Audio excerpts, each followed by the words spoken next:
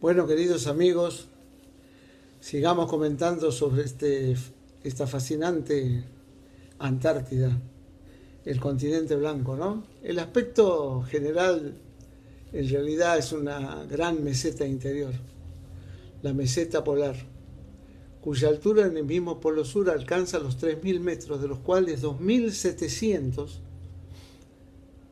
metros corresponden al espesor de hielo. Esta cobertura que hace de la Antártida el continente de mayor altura media del globo, 2.000 metros sobre el nivel medio del mar. Oculta el relieve subyacente, permitiendo que solo afloren aquellas formaciones montañosas que superan en altura al espesor de, de hielo que las cubre y que son llamadas Nunatak. Recuerden bien, Nunatak. La capa de hielo producto de, de la precipitación fluye por gravedad y se dirige hacia la periferia. Se vuelca en el mar a través de valles dando lugar a los glaciares. Estos son de tipo alpino bien lo hace a través de terrenos poco accidentados o por las escotaduras de su perímetro originando una barrera de hielo.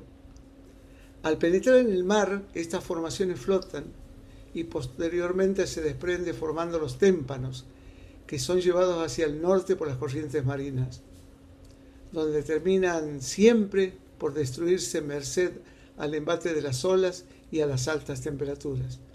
La mayor elevación correspondería a un pico del macizo Vinson, 5.620 metros en la tierra de Ellsworth. Existe un volcán allí que permanentemente está en actividad. El Erebus en la isla Ross sobre el mar homónimo.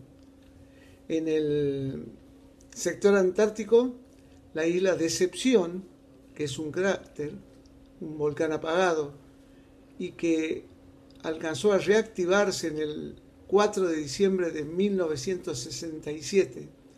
Es un lugar fascinante. En ese lugar, quienes la visitan se pueden introducir en sus aguas en la Antártida y pasar un buen momento en aguas calientes.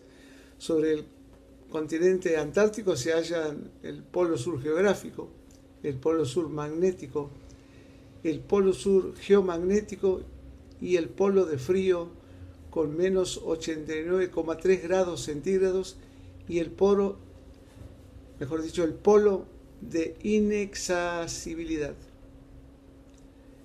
De esta manera terminamos esta descripción del continente antártico y continuamos. Muchas gracias.